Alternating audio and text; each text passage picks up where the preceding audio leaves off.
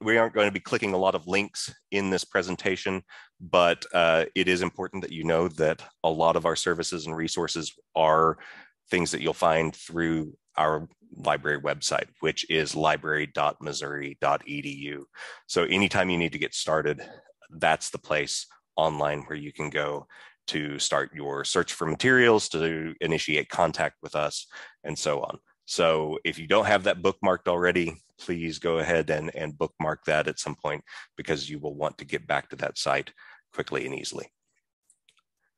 Uh, a little bit about our libraries. So we use that plural because there are a variety of libraries spread out across the MU campus. Ellis Library is the big library here in the heart of campus. Uh, Ellis Library is home to a lot of our subject librarians, as well as departments such as our special collections, um, our government information, and very recently our archives. So a lot of those um, specialized services you'll be able to find in Ellis. But along with Ellis, we also have a health sciences library, uh, an engineering library, geology, journalism, math, and vet med. And, and in, in addition to that, we also house a lot of materials offsite in a depository here in Columbia. So we have lots of facilities spread out all around the MU campus and the Columbia area. So as I said, we have several presenters today. So our first section of this presentation is going to be uh, Gwen Gray and Kimberly Muller, both research and instructional services librarians. They're going to be discussing research support. After that, Cindy Kottner, who's our head of access services, will discuss, will discuss discovery and access. And then I will uh, uh, uh, be presenting about our teaching support. So with that in mind, Gwen and Kimberly, take it away and just tell me when you need me to advance slides. So thanks for joining us today. I'm Kimberly and this is my colleague Gwen and we're excited to kind of talk about how we can support your research. So if you'll go ahead to the next slide, Joe. We're going to jump in with a great graphic that I really like from our health sciences librarians. They put this together and it's a little overwhelming. There's a lot of text on this slide, so we're going to break it down as we go, but it really just will dig into some of the different ways that the libraries can be involved in all steps of the research cycle, from the concept of what you might want to be researching all the way through the publication and determining like what impact that publication has had. So if you'll go ahead, Joe, to the next one we know that you're experts in your subject area, you're experts in research. So we're here to partner with you on that research and just make it as efficient and effective as possible um, so that it's not bogging down the time that you're spending in the library side of things. So I put database searching and subject specific searching because there are hundreds and hundreds of different places that you might start looking for research. And we can partner with you in figuring out maybe the three or the five locations that would be the most effective to dig into, and then create search strings that will, again, be the most effective to find the results that you're looking for. For the literature reviews and systematic reviews, I did want to highlight this because we also partner with publishing and writing these types of publications. So this can look like creating a search string with you and just partnering and making that recreatable um, piece so that when you're writing your methodology, it's something that another researcher could duplicate and could recreate. But this also can look like pulling the search results, exporting them, going through them with you, writing the literature review in the background section of an article, writing the methodology section. So those are all pieces that I've helped contribute as a co-author with um, when looking at literature. So again, we can partner in lots of different areas in this just to make your job and your publications easier. One of the other things that we can do in this preparation for doing research is assist with data management plans. And I wanted to highlight this because a number of grants now actually require that you have a data management plan. Things like NSF and NIH grants, this is now something that you have to have, and the libraries are the place where you can go and do that. Our institutional repository, which Gwen's gonna talk a little bit about in a second, actually does have a place to store data so that you know it's going to be accessible to yourself later, but also to other researchers that might want to double check and dig into the data that you collect as well. And as part of that, we also teach workshops on software that helps analyze data, things like carpentry, and can help with things like text mining and data mining for those projects. So you'll go ahead. Yeah, and just to pick up on a little bit on the data mining, text mining, we especially want to talk to you before you start any project like that because we usually do have to get clearance from our database providers that you can indeed do that. And sometimes I've helped faculty who have set up alternative, like their own accounts to get to the data. So let us know if you need to do something like that. It really saves us, it saves you time and it saves us a lot of headaches too. Um, for publication, we, if you have an article or some research you want to publish, you're not sure where to go, where you know it might best fit, we can help you identify journals that are out there um, where you might want to publish your research. We can also encourage you and talk to you about open access. So making your data, your research available to others. A lot of even the more, put quotation marks, reputable journals nowadays have OA sides, open access sides. So we are very familiar with that, that side of publishing. As Kimberly mentioned, we have a repository where your data and even your articles if you did a dissertation here could go, and that's called MoSpace. It is maintained by the libraries, and it will be a place where in per perpetuity, your information will be accessible. So it kind of feeds into that open access idea too. Um, we can help you with copyright. We have a librarian who's pretty well versed in copyright issues, and we all get a fair number of questions about, I want to put, let's say, Harvard Business Review articles on reserve what do I do? Or I want to reuse this. And we can help you navigate the copyright landscape. The other thing we can do is help you with your citations. If you're trying to figure out a style, what to use. I had a, a distance student the other day who was trying to cite a statute for the state of Georgia and was having a heck of a time finding it in APA. And by golly, we found something that showed her exactly how to do it. And if you have any questions about that, we're happy to work with you on that. And just to tie in before we move to the next slide, one of the big things about copyright in MoSpace that I want to highlight, and I think is sometimes not well known, is that we can work with you on maintaining copyright for your publications. So if you put an article in a journal, yes, the journal often holds that copyright and they hold the rights to the publication, but usually what they hold is the rights to the PDF, the fancy version. And you might still hold rights to the original manuscript, the Word document, and we can add that to MoSpace. And we do have a librarian, Stephen Pryor, who can work with you on navigating those copyright things before you sign away your rights so that we have that option. And the reason it's beneficial for you to do this is not only does it make your work accessible, it means people on Google Scholar, when they come across it from other countries or from universities that don't have access to every journal or every database, won't hit a paywall when they try to access your research.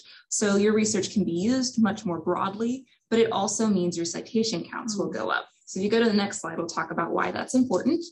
We don't love playing the citation game, but metrics are a big part of promotion and tenure, being able to say like my research is important and I can prove it's important because I can prove that this many people have read it and you know X number of people have cited it and used it in their research. So I'm contributing to that scholarship conversation. And so part of that is what you would put together when you're going up for promotion or tenure. And part of that is what we'll pull together to help you in that process. We want you to be successful in going up for P&T. And so we're partnering with you in ways to make your contributions to academia, academia um, the most successful and the most visible that they can be. And there are really wide variety of where these metrics can be pulled from. So I'll meet with every single one of the faculty in the departments I work with when they go up for P&T. We'll pull together a metrics packet, and this includes things like personal author profiles. So we'll talk to you about the different profiles that are out there, how you create them, why you would want them in the first place. Um, so there's authors metrics, there are journal metrics, things like impact factor, pretty well known, but there are a lot of other metrics that are available beyond just impact factor. So we look at comparing statistics and comparing metrics across the board. So even if impact factor doesn't exist for a journal, we still have metrics to provide that can show the credibility and show the widespread use of your work. Um, and then also article level metrics as well. So all of these things play a role when you're putting together promotion and tenure, and the libraries are your partner in doing that. So if you'll go to the next slide, I have an example of what one of these packets might look like. This is a John Smith. These, these are not real. Um, this is an example that I show faculty when they're starting to go up the first time. And as you can see, there's a lot of different metrics that we can pull. Um, you don't always need to have all of them, but there's a wide variety that we can look at and see what best fits your application for promotion and tenure. And I do provide a letter as well to the P&T committees so that it describes what these different metrics are, where they're coming from, what they mean. So it's not just like, here's a chart with a bunch of numbers that don't make sense. Um, you get the numbers, but you also get the explanation where they're pulled from, what they mean, why they matter. Um, and all of that comes together through your partners at the libraries. And just to jump in, we do need about eight weeks notice? Oh, I, I, usually, it depends on the time of year you're going up. If it's the time everyone's going up, more time is always better. If you are on it in advance, I'd say two weeks because it does take time to go through, you know, all the publications that you put together. Okay. And lastly, we just want to talk on collections. If you have a book you desperately need, um, you want to know if the libraries can subscribe to a journal, get a particular database, please contact your librarian. And if you don't know who to talk to, there's a little Ask Us button on our homepage that slides out from the right. You can always just click that, and whoever's manning our uh, chat service can tell you who to talk to. Um, we also can talk to you about our budget, which is not the prettiest thing to talk about, but that's it is important and it's something that your librarian because all of us work with particular departments can talk to you about and answer any questions you might have basically, as it says on the bottom, just ask. Yes. We're happy to, to uh, handle whatever question you throw at us. And we talked a lot about publications and about material for research, but we're also always available for consultations one on one if you just want to yes. go over a project that you're working on and get a fresh pair of eyes on it. Yep. Okay. I think that's it. Yep, that's it for us. All right. So before we move on to Cindy's section, I wanted to stop and see if there was anybody uh, either in the chat or who wanted to jump on mic, anybody from the audience who had any questions for uh, Gwen or Kimberly about the research support.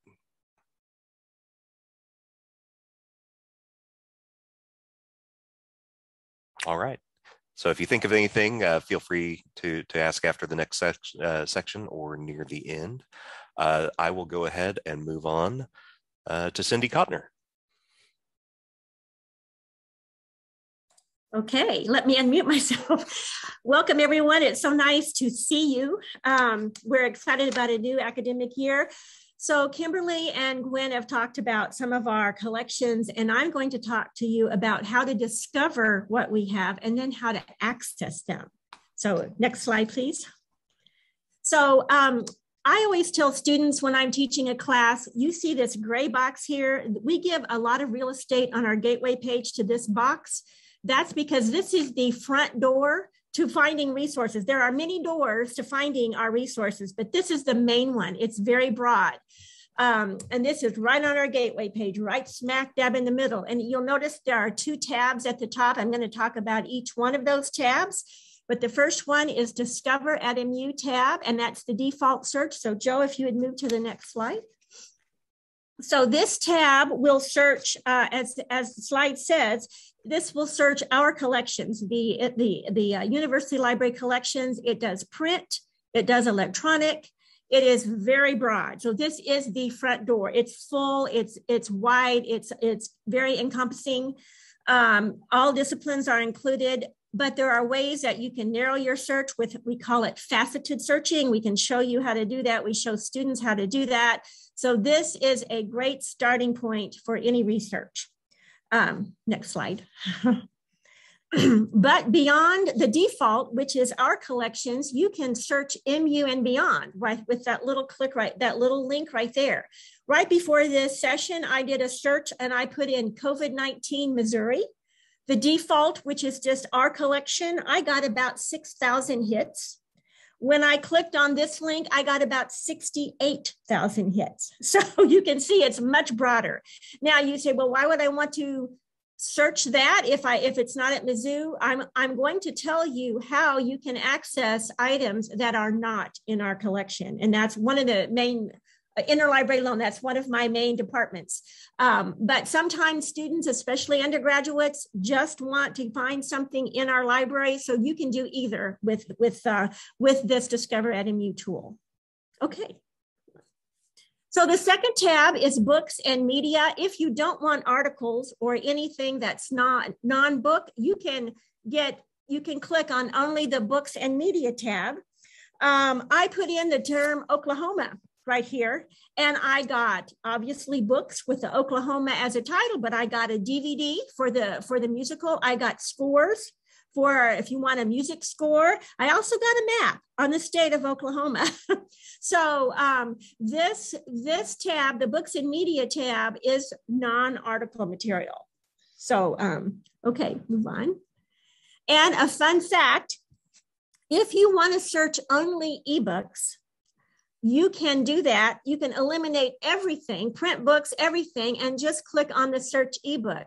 This might be especially useful if you are teaching a distant class. So students who cannot come into the, who cannot physically come into campus for the libraries, they can search only what do we have in ebooks and maybe uh, limit their search to that. So it's very useful for distance students. So this is a, a relatively new feature we added to this uh, Discover at MU um, in the last couple of years.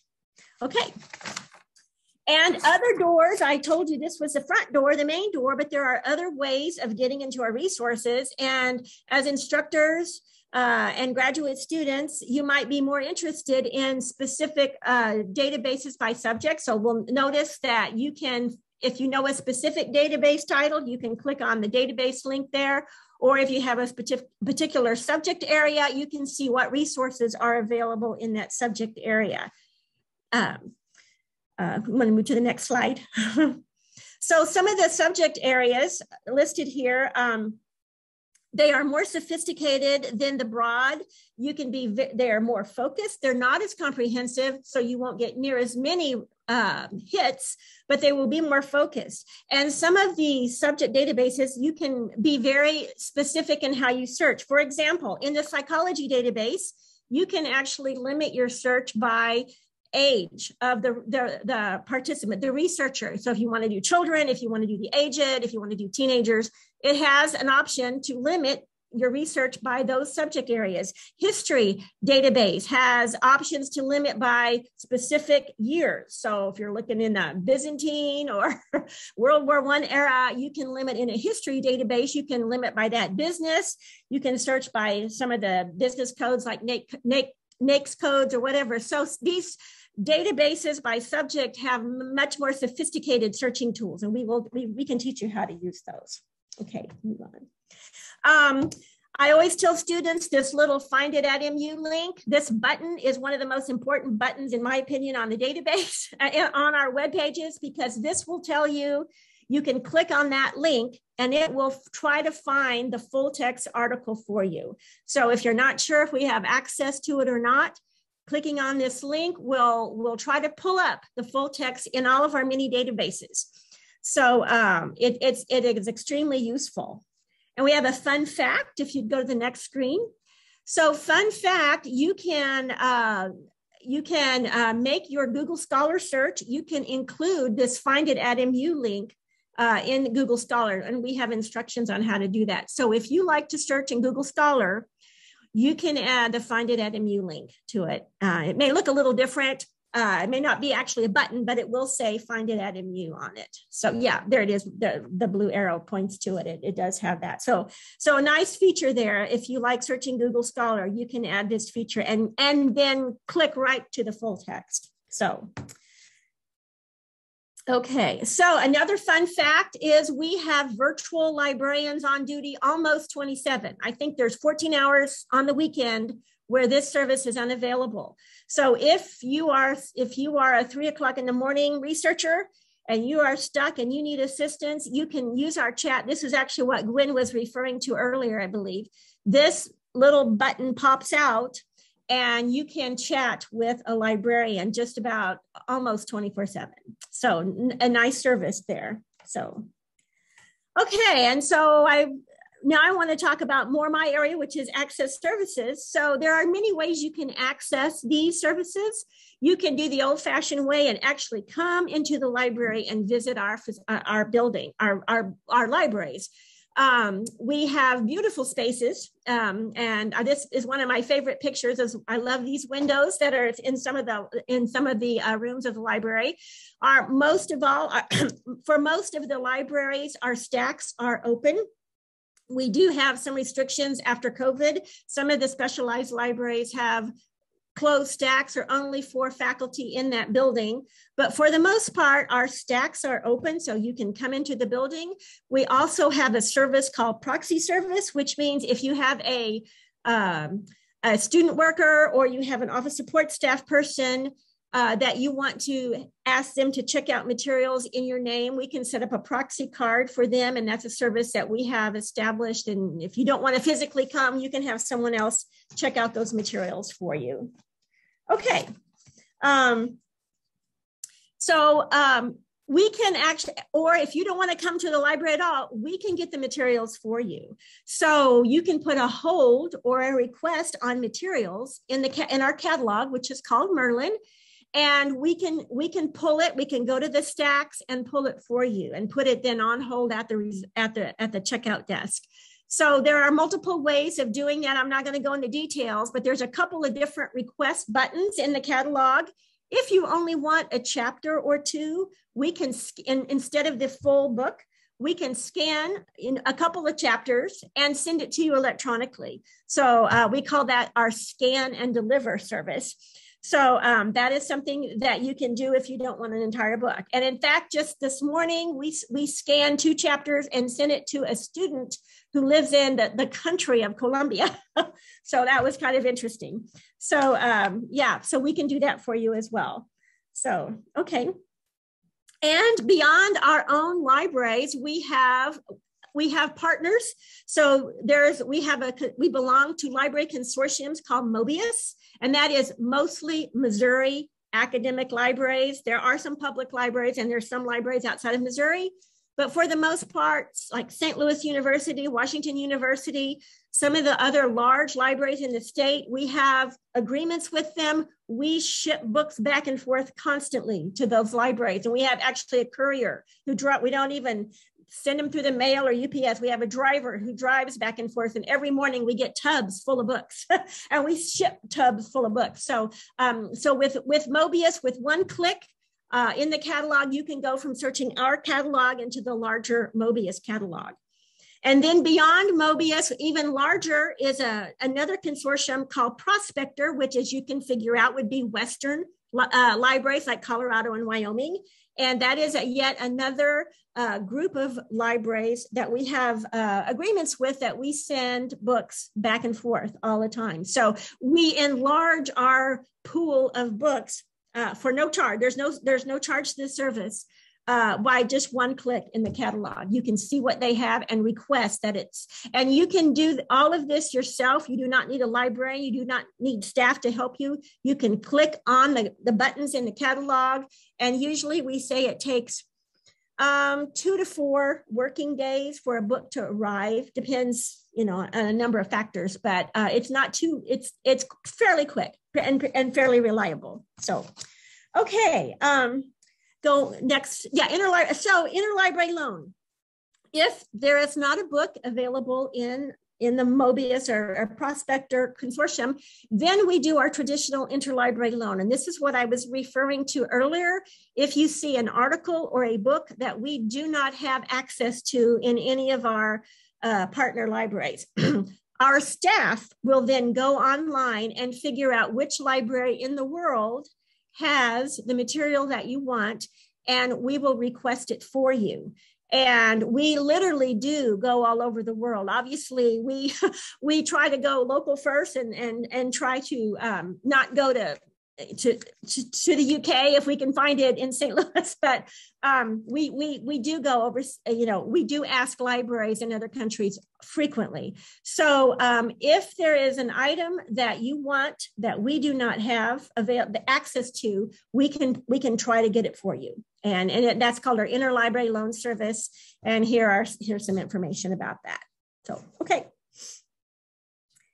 And um, oh yeah, course reserves. Okay, so another service that we have is we can so an accessible um, service for your students. If you have a book or materials that is going to be used heavily by students in your course, um, you can put those items on reserve uh, you can put print reserve, which means they would have to come into the building, either our library or if you're uh, in the journalism or health sciences library, either any of those libraries.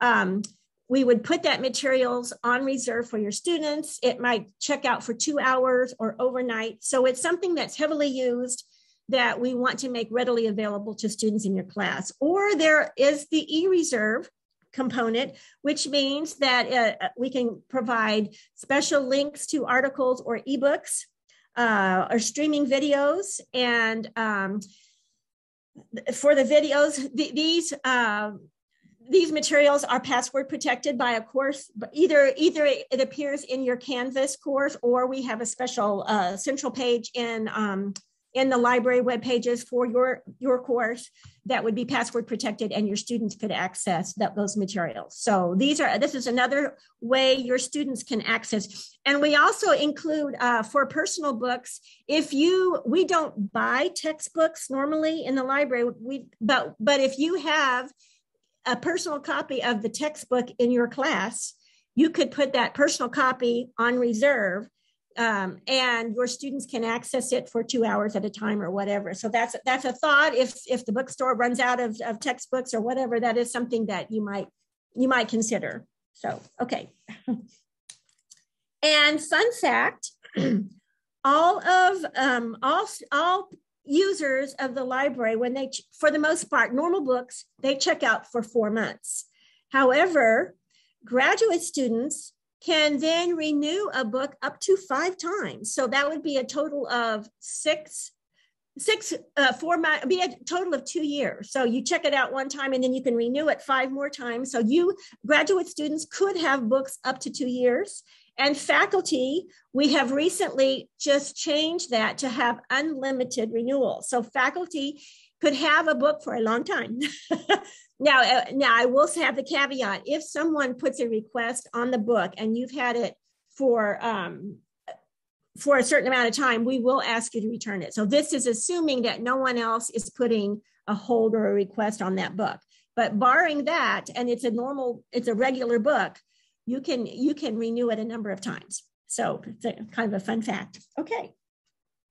And the last thing, this is brand new fact, it's not operational yet, but I think we are getting very close, is we have contactless lockers. And um, there's a there's one here in Ellis Library, and there's one at the in the med school for for um, people using the health sciences library or the med school.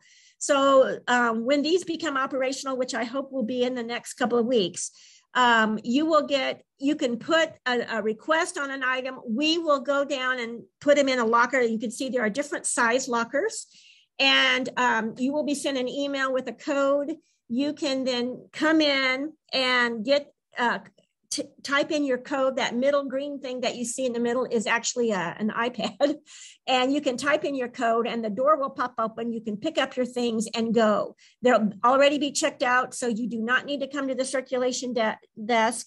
And um, this in, in our building and in the med school, these lockers are available 24 7 because we have these located in between our uh, we have two sets of doors and it's right in between the doors. So the one set of door is locked, but the first set of doors is not locked. So these lock lockers are going to be accessible 24 seven.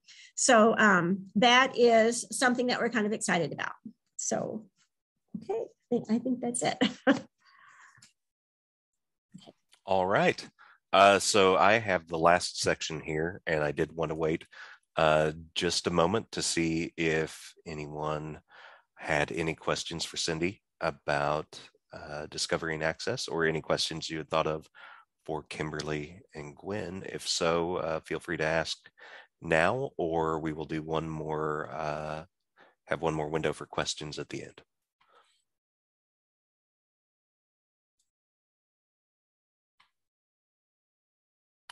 All right. So uh, let's, uh, we will have, as I said, one more chance for people to ask questions at the end. Um, and I will tell you a little bit about our instructional services. So, um, as you can imagine from hearing everything that Kimberly and Gwen and Cindy have discussed so far, there uh, are a lot of things that we provide and offer uh, here at the libraries, and a lot of those things can seem very daunting to students uh, as they begin the process of conducting research in uh, in their classes. And uh, very few students come into college with the knowledge necessary to navigate all of these systems and resources that we make available. And so we do uh, take on some of the responsibility for ensuring that the MU community knows how to use the materials that we make available to them. So why are we involved in teaching? According to MU, graduates of a baccalaureate program should be able to do all variety of things. There is a list of core learning objectives uh, outlined on the Provost's website, and that's one of the things I believe we linked to in that uh, LibGuide that I linked to at the very beginning of this presentation then, and that I will link to again at the end. Uh, you can look at all of those, and this is not a comprehensive list of all of those um, uh, learning objectives, but these are four that are listed very early on as the kind of activities that uh, are very closely tied to conducting research in the library or or using uh, discovering and using information that somebody might find kind of what we would think of out in the wild, on the open web, perhaps. So things like finding existing sources of information, evaluating that information to determine whether or not it is relevant and credible, uh, conducting appropriately, appropriately focused library research. So not just diving headlong into our collections and just trying to stay afloat and hope that you can find things, but actually understanding the resources that we provide and understanding how they work, understanding how those search fields work, understanding how the facets and limiters within a database work so that somebody can actually go in with a plan and be able to locate the information and the, uh, the, the, materials in our collection uh, without floundering too much. And then organizing that information and uh, and all that data for further analysis. So those are all things that uh, any student who completes a four-year program here at MU hopefully will be able to do by the time they graduate. And so and so we want to make sure that we can help you as faculty and as grad students who have teaching responsibilities. We want to be able to help you uh, teach your students these things. So we're also informed a lot by um, a lot of uh, scholarship related to what we call information literacy, which is that the the concepts and skills that a student uh, will hopefully develop uh, and master as they go through uh, a, a, college program. And so uh, I won't go into too much detail about the whole history of discussions of information literacy in the field of libraries and library science, but some of the big ideas that we think of and that we are going, they're going to inform how we craft our instructional services um, are related to a document called the Framework for Information Literacy for Higher Education that comes out of the Association of College and Research Libraries, uh, otherwise known as ACRL. And uh, the these six big concepts um, are are uh, what make up that framework, and their ideas like authority being constructed and contextual. So understanding what uh, what makes an authoritative voice or an authoritative figure authority an authority within their particular context, their scholarly context. Uh, information creation as a process. So understanding that books and uh, articles don't just emerge fully formed, but that there is a process uh, that scholars go through uh, from the point of starting their research or even going back to their early education, then going through their research process, the development of a research process, and then all of the writing and editing and review that goes into creation, uh, creating um, monographs, articles, reports, things of that nature. Uh, the idea of information having value. So we want to make sure that we are just talking with students about not only matters of what you would think of as as value in terms of uh, uh, intellectual property and uh, and uh, matters related to say like plagiarism, but also in this day and age, we are having as librarians have to spend a lot of time talking to faculty and students about the actual material costs of maintaining access to all of the information that scholars want to be able to access and want to have available and, and the difficulty of doing that and the reasons why those materials are as expensive uh, at, um, as they tend to be. Uh, research is inquiry. So thinking about the research process as the process of asking questions and as a process of really focusing very narrowly on very specific questions, that idea of nibbling around the edges of the discipline, trying to find those gaps in knowledge and asking questions and how one set of questions leads to another set of questions. The idea of scholarship is conversation. And so that ties back into discussing with people uh, that the notion of thinking about like the citation process as signaling to your reader the reading that you're doing, the ways in which your research as a scholar or as an author is commenting on or responding to what has come before, and getting students to think about uh, this sort of scholarly landscape in which you have several researchers maybe all talking about and thinking about the same problems and writing about them, presenting about them, and then responding to or pushing back on certain ideas that are then published. And then searching a strategic exploration that gets back into that notion of trying to help students not get caught in the trap of just diving headlong into their research without a plan. So being able to think through the plan, think through what it is that they are hoping to find, think through what it is exactly that they need, and then be able to craft search strategies that will help them locate uh, materials either in our collection or that if they're not in our collection, locate those elsewhere. So those are all things that even if we're not sitting down thinking through our developing a lesson plan and trying to check each box on each of these six frames hopefully somewhere in the back of our mind maybe even at a subconscious or unconscious level we as librarians are thinking about these types of ideas these types of concepts as we're developing our lessons. So our instructional services comprise um, the work of a, it includes the work of a lot of different librarians here in the libraries. As you probably gathered from Kimberly and Gwen's presentation, uh, we have lots of different librarians who work with different disciplines and programs on campus.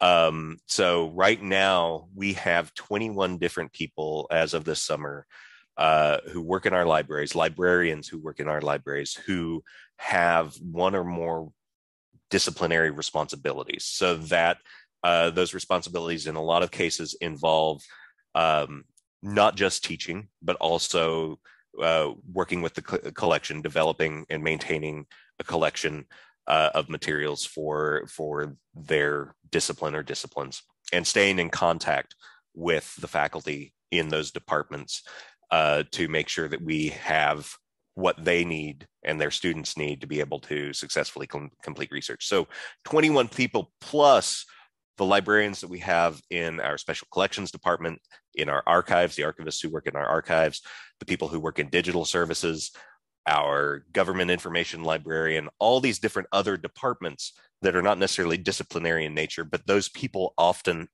excuse me, often take part in uh, in some of our educational and instructional uh, services and sessions uh, when they can come in and talk about some of the services that they provide. Uh, our instruction can take, uh, for all of you who've been teaching recently, know our instruction can take both a synchronous live form or a recorded or asynchronous uh, form. And we um, do a lot of both. So we've always done a lot of face to face teaching in a classroom, but we have a history of being able to record uh, instructional sessions, record lectures, record small tutorials, create guides and other materials that people can watch or use on their own time. And so we are, are happy to do either. And whatever makes the most sense for you and your students, we will try to accommodate that.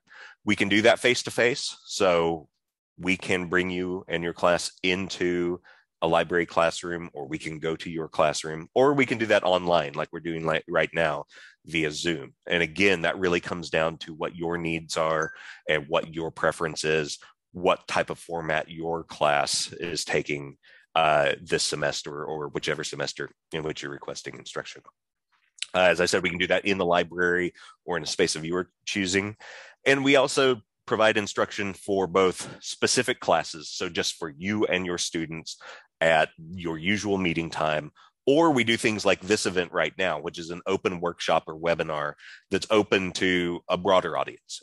This type of event today was open to all MU students and faculty and staff, and a lot of our workshops and webinars uh, likewise are offered to the full MU community, and all people have to do is register and sign up for that. And uh, a lot of these workshops, again, we try to make sure that we we record and host online so that people who can't make it at the scheduled time can then go back and watch later on. So, how do you get started? First off, you need to get to know your subject librarian. If you go into that guide that uh, that I provided you, and again, I can paste that in right now. Uh, if you go there, there will be a link to see the directory of subject librarians. The best thing that you can do is get to know the librarian who works with your discipline and works with your department, because that person is the person that you're going to want to contact for both those services that Kimberly and Gwen were talking about, like assistance with promotion and tenure, assistance with your specific research projects, assistance with uh, obtaining materials that you need for your research, but also that's the person most likely who is going to work with you on instruction.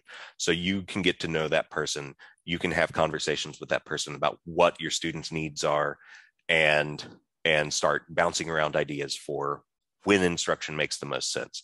Uh, what your what the assignment how the assignment needs to be designed or your lessons need to be designed to prepare students for an assignment that involves uh, library based research. So uh, some things you can do you can share your syllabus and assignments with that librarian. It always helps for us to be able to see those things. Uh, schedule in your instruction sessions well ahead of time. What i mean by that is start the conversation early. It isn't always best to have an instruction session very first thing in a semester. It's uh, probably better to time your instruction sessions for the point of highest impact, which is usually a little bit closer to the time that a student's actually going to start working on the assignment so that they can actually start applying the things that they learn in a class. But that's the sort of conversation that you can have with your subject librarian. Uh, Nav Khanal, who's our e-learning librarian, is not here for this presentation, but I do want to mention some of the things that he and his staff work with and provide. Uh, in Ellis Library, we have what's called a digital media and innovation lab, and this is uh, open to students um, to provide students with a variety of technologies uh, related to uh, digital media that they can use to uh, complete different projects. So as you see here in the in the uh, photos here, there are uh, there's green screen technology in there. There's a sound booth and recording equipment. Um, uh, you have the the Wacom tab with the pen, so a person can draw or write on a on a tablet and have that uh, saved uh, on a screen, so they can do that for writing or for art, and so on. He has audio booths with uh, uh, in an audio studio uh, so that students can record interviews, voiceovers, podcasts. Uh, they can record music. Uh, Nav's had people come in with a guitar and, and record a song in the sound booth before.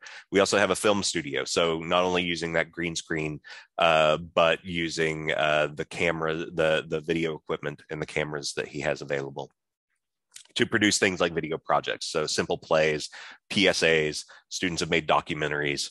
And then he also has other equipment like uh, 3D scanners. So, uh, so you can actually scan an object into using this 3D scanner and then be able to send that scan back through, say, a 3D printer, or you can look at it in a in a program like AutoCAD, where you can then go in and play with that design in a 3D environment. He also has animation software and art tablets. So that's what I was discussing on the last uh, page. Uh, Nav also provides support and has been uh, helpfully making sure that the Discover at MU reading list maker is going to work in our new instance of Canvas here on campus. So this allows you to use that Discover at MU tool that uh, Cindy was talking about to actually create a custom reading list from out of materials from our collections. You can create that in Canvas so that students can quickly access, uh, say, articles from our collection within your course environment. We really recommend that people use this and we can provide support on how to how best to use it. Um, sometimes faculty who are in a hurry or who already have access to an article might just say download an article and then upload the PDF into Canvas. We really want to encourage faculty to be a, to link directly to the to the materials that we have in our collection, link to those materials, uh, and this is a good way to ensure that that happens. So this uh, this allows you to quickly search for those articles, and then through a few quick clicks, you can create your re reading list that students can then use. We also have learning modules. So uh, Nav and his staff take the lead on developing uh, library modules for asynchronous instruction. And so you can incorporate these into your class or you or your students can just go through them on your own time. Uh, we have things like a plagiarism module that introduces students to the concept of plagiarism and how to avoid plagiarism. We also have a scavenger hunt that takes the place of a guided tour. So they can guide students through our physical space in Ellis Library, help them get acclimated with some of our main service points in the library. It also, post COVID especially, integrates a lot more of navigation through our website so that students can kind of learn their way through there. So those are the types of things that we have developed and we can develop for individual classes. So if you would like to have an actual interactive tutorial or a quiz that incorporates, say, videos that the library has recorded, you can uh, work with us. You can talk with your subject librarian, and uh, and then we can bring Nav into that conversation and his folks to be able to create an instructional element for your class that works for you. Um, also, I am involved, and several of our librarians here actually end up uh, getting involved from time to time in these discussions. I, I am uh, one of the people here in the, the library who promotes uh, the use of affordable and open educational resources. So um, affordable course materials at MU are things like textbooks and other required materials uh, that that are priced at or below forty dollars. So there has been in recent years a big push to try to uh, see more courses here on campus that use materials that are priced at collectively at no more than forty dollars per per course to try to drive down some of those high costs of materials that students often face. One of the ways that you can do that is through the discovery and use of open educational resources, uh, which are textbooks and other materials that have been licensed for free use and free adaptation. So there are textbooks in lots of different disciplines that have been published openly. They are free of charge. You don't have to pay to access them. Students don't have to pay for to access them. And you, as an instructor, would even be able to go in and tweak and alter and edit certain sections to actually more closely meet your course's needs or to make reference to things that you are discussing in your class. And so I can help you with that. Your subject librarians can get involved in helping you to helping you to integrate course uh, materials from our collection into your course. So if there are, again, like that reading list maker, if there are articles that you would like to make sure that your students are reading, if there are chapters from ebooks and we have a copy of an ebook, we can work with you to make sure that that's properly linked and to make sure that multiple people can access that at the same time.